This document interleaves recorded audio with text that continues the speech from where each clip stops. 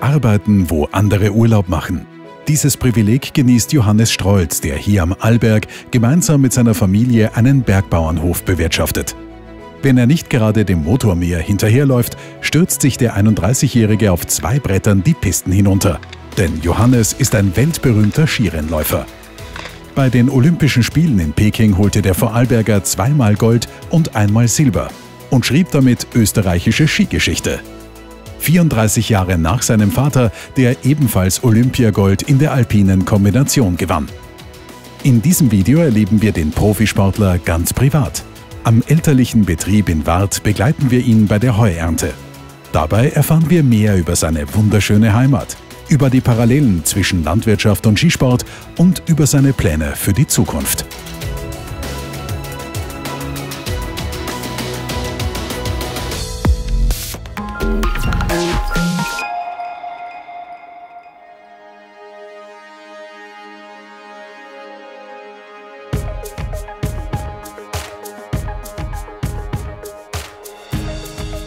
Wir sind da zwischen Lech und Wart ähm, im Gemeindegebiet Lech und das nennt sich Bürsteck, wo wir da gerade äh, stehen. Das ist äh, ein Bergmatt, das wir schon einige Jahre bewirtschaften jetzt. Es hat sechs Hektar, ist ähm, ja, ein wunderschöner Platz, wie man sieht. Die Umgebung spricht für sich selber. Unser Biohof äh, liegt in Wart.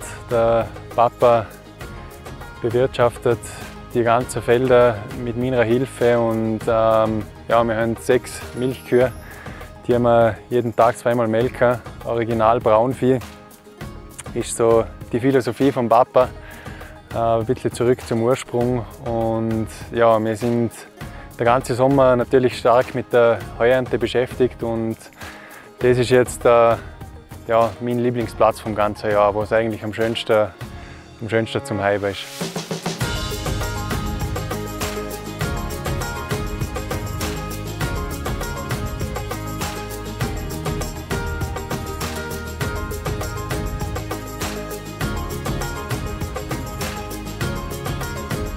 Ja, unser Betrieb hat äh, seit kurzem technisch eine massive Aufrüstung gekriegt. Äh, wir haben in einen Lindner Unitrack 122L Drive investiert und sind seit dem Sommer auch mit dem Ibex Motormeer, mit dem Ibex G2P von Terratec unterwegs und das ist wirklich eine massive Arbeitserleichterung für unseren, für unseren Betrieb, für uns alle. Alles in allem einfach die Schlagkraft ist ja, die ist unvergleichbar in, zu, zu davor einfach. Ja. Ja, die Bewirtschaftung wäre ohne die technische Möglichkeit äh, fast gar nicht mehr möglich. Äh, man hat immer weniger Leute zur Verfügung, die einem helfen, was, was auch klar ist. Und dementsprechend ist es einfach wichtig, dass man selber viel weiterbringt. Und, und gerade bei mir, ich habe ja doch äh, sehr, sehr viel Trainingsumfang, den ich abspulen muss. Und da ist es wichtig, dass man die weniger Tage, die einfach für die Heuernte ideal sind, dass man die wirklich mit Schlagkraft nutzen kann und da, ja, da etwas weiterbringt. Das ist einfach entscheidend.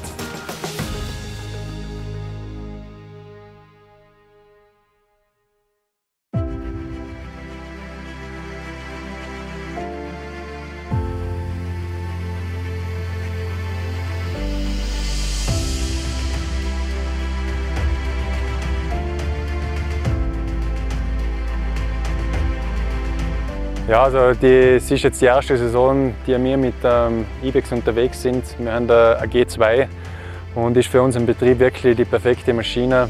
Äh, was mich speziell überzeugt hat in der Testphase im Vorjahr schon, ist in erster Linie die verschiebbare Achse gesehen. Also das ist wirklich, ja, das ist wirklich ein Riesenunterschied. Umso extremer das Gelände wird, umso mehr macht sich das bemerkbar. Es ist erstens ein Riesensicherheitsplus. Zweitens äh, unheimliche Arbeitserleichterung in dem Sinn, dass man einfach den Schwerpunkt von der Maschine immer perfekt einstellen kann und durch das nie so viel Kraft aufwenden muss wie bei einem herkömmlichen Motor mehr. Also ich, ich kann mich erinnern, wie es mit der vorigen Maschine gesehen ist. Da hat man beim Umdrehen im ganz steilen Gelände wirklich sehr, sehr viel Kraft gebraucht, dass man die Maschine stabilisieren hat können und der Ibex fährt eigentlich von selber und man, man kann sich sogar noch ziehen lassen. Und was der nächste große Vorteil mit sich bringt mit der Achsverschiebung ist der, dass man einfach, egal ob man ein leichtes, ein schweres Anbaugerät angekoppelt hat, man, man kann die Maschine einfach immer perfekt einstellen. Und das hat uns auch ermöglicht, dass wir eine größere Bandbreite an Anbaugeräten verwenden können und die wirkliche Handarbeit auf ein Minimum reduzieren können in, in schwerstem Gelände. Und das ist der ganz große Vorteil von, der, von dem Gerät. Der LS-Grip, die Bereifung, das Luftstachelrad, das wir auf dem Ibex auch verwenden, ist auch noch einmal ein, ein Riesenfortschritt. Also da traue ich mich wirklich sagen, das ist 100 zu 1 äh, im Vergleich zum Alu- oder, oder Stahlstachelrad. Also es ist wirklich, speziell in steinigem Gelände, so wie es bei uns ist, ähm, ist es ein Riesenvorteil. Man merkt einfach, dass die Maschine weniger beansprucht wird, es ist weniger grob, es geht viel weicher, viel geschmeidiger. Es ist ein angenehmeres, sicheres und vor allem auch schonenderes Arbeiten für, für und mit der Maschine.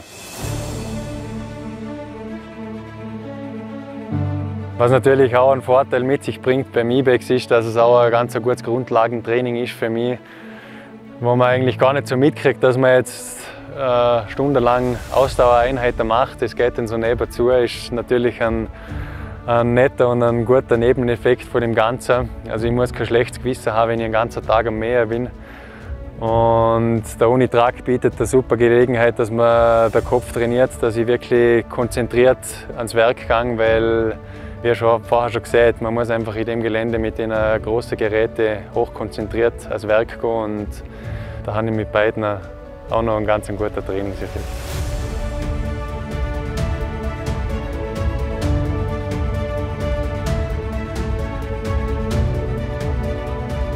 Also mit Teratec hat unser Heimbetrieb jetzt wirklich ein, ein wirklich guter Partner als Inresita. Ich habe natürlich das Glück, dass die geografische Nähe gegeben ist und habe durch das auch schon ein paar Mal in der Firma sehen dürfen und habe auch schon einen Teil der Mannschaft kennenlernen dürfen und ich bin wirklich beeindruckt, mit was für einer Leidenschaft bei Teratec geschaffen wird. Also man spürt, dass der Lukas mit Leib und Seele dem Projekt nachgeht und, und all seine Zeit und Energie da einsteckt. Ähm, darum ist er so ein gutes Produkt rausgekommen und auch seine ganze Mannschaft, die dahinter steht, ist einfach top. Also es sind fast alle mit landwirtschaftlichem Hintergrund. Man merkt, dass da wirklich ein Feuer brennt für das ganze Thema und dementsprechend ist man da in guter Hand.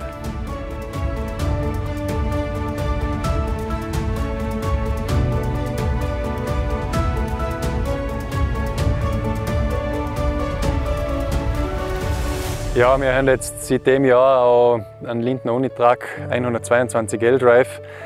Ist wirklich eine Top-Maschine. Ähm, was mich vor allem überzeugt hat, ist der, der stufenlose Fahrantrieb.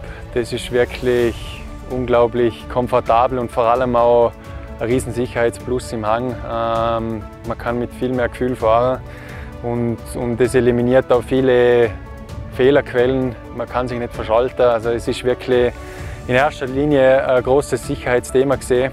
Ich habe wirklich das Gefühl, dass, die, ja, dass das Gerät für die Zukunft einfach das Richtige ist und dass der Hof durch das äh, gut gerüstet ist für die nächsten Jahrzehnte. Da bin ich überzeugt. Und ja, es ist jetzt mal eine Freude, wenn man in das Gerät einhockt. Also man kann es eigentlich kaum erwarten, bis es wieder zum, zum High, High wird. Dementsprechend ist dann natürlich die Arbeit auch einfach eine schöne.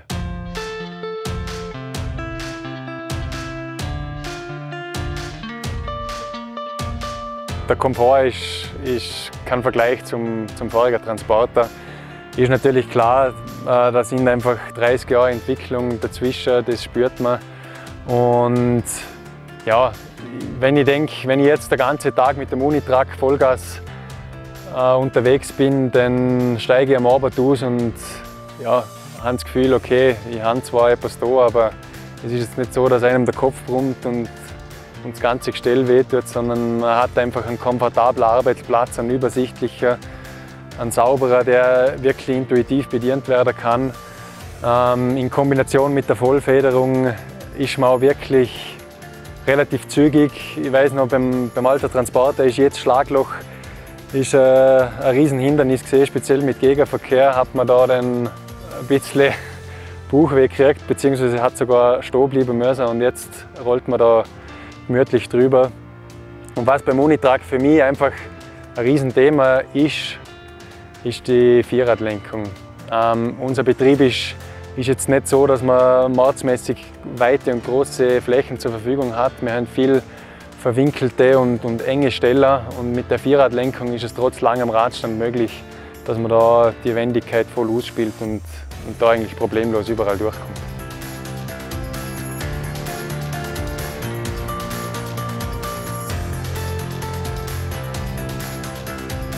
Also aktuell ist der Unitrack bei uns hauptsächlich in der Heuernte im Einsatz mit dem Ladewagen. Ähm, wir haben da, wie gesagt, riesen Plus an Schlagkraft und in Zukunft wäre angedacht, dass man eventuell mit, mit benachbarten Landwirten, die interessiert sind, äh, miteinander Anbaugeräte hertut. Da geht es speziell um Mischstreuer, geht es um äh, Güllefässer und das sehe ich halt auch als großer Vorteil, wenn man, wenn man dieselbe Grundmaschine hat, kann man einfach solche Anbaugeräte oder Aufbaugeräte miteinander hertun und, und gut verwenden. Und bei uns werden es immer mehr Unitracks, also sind jetzt in Wart fünf Landwirte und vier von denen fahren mit einem Unitrack. Von dem her macht es schon Sinn, wenn man da ein bisschen zusammenhilft.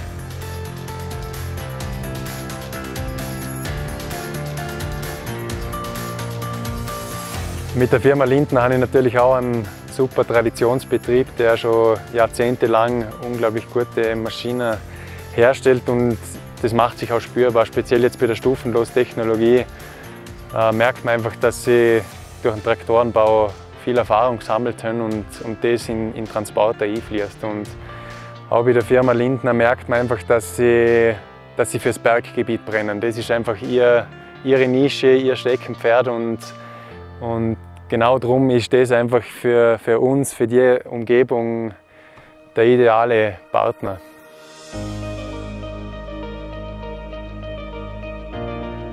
Ja, was wir halt tagtäglich dann auch vorfinden, sind einfach anspruchsvolle Hänge und Flächen, die wir bewirtschaften. Und da kommt einfach die Parallele zum Skisport ins Spiel bei mir. Ähm, Im Weltcup ist man wirklich auf der schwersten Hänge unterwegs.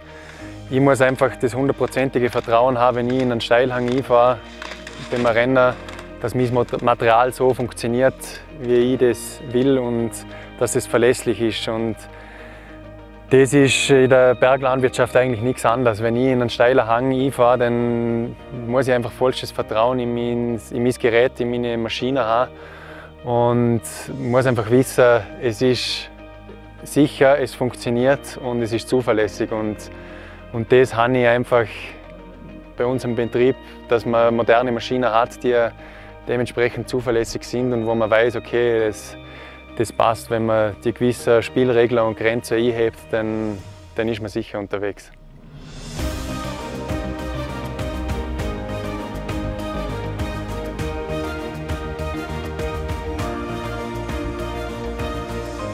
Die Landwirtschaft ist ein, ein super Ausgleich für mich.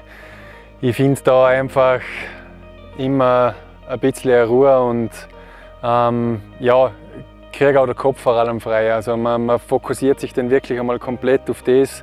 Speziell im Gelände, wenn man mit der Maschine auch unterwegs ist, dann muss man wirklich hoch konzentriert sein und da, da habe ich dann keine Zeit zum Überlegen, wie werde ich noch stärker, wie werde ich noch schneller, wie werde ich noch besser im Materialsektor und und und. Das ist dann alles einmal nebensächlich.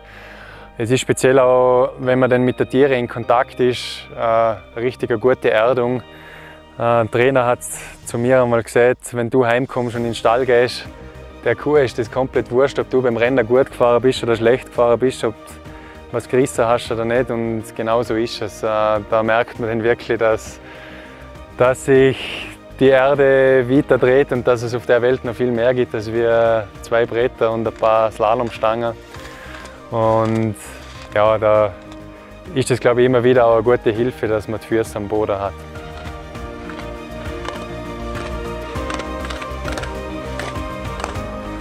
Also aktuell liegt der Fokus bei mir natürlich voll auf dem Skisport. Äh, es ist einfach wichtig, dass ich da noch 100% von meiner Energie einstecke und ja, mit der Landwirtschaft als guter Ausgleich dazu funktioniert das ganz gut und mein persönliches Ziel ist in Zukunft, dass ich nach meiner Skikarriere der, der Betrieb von daheim weiterführe. Ähm, der Skisport ist der schönste Sport, den ich mir überhaupt nur vorstellen kann. Äh, es ist jetzt mal, wenn ich, wenn ich auf der Ski unterwegs bin, ein Privileg, dass ich das machen darf. Und genauso ist es mit der Landwirtschaft. Es ist, äh, es ist beides nicht immer einfach. Man muss viel, viel opfern, man muss, man muss wirklich viel dafür geben, dass es funktioniert. Aber man kriegt dafür umso mehr zurück.